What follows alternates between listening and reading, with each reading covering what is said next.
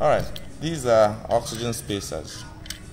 Uh, they can go in really tight corners, depending on the angle where the oxygen sensor is located. So it could go into right angles. All right. It could also go straight. Uh, still, hold on.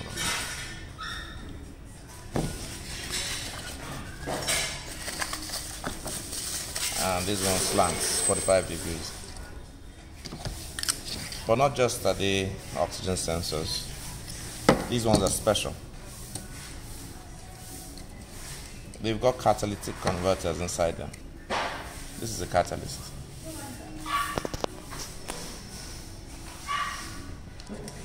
So that way in deceiving the engine ECU that you actually have a catalyst you're sure that uh, it's not going to throw a catalytic converter code because whatever exhaust gas gases get to the oxygen sensor would pass through that. These ones are special.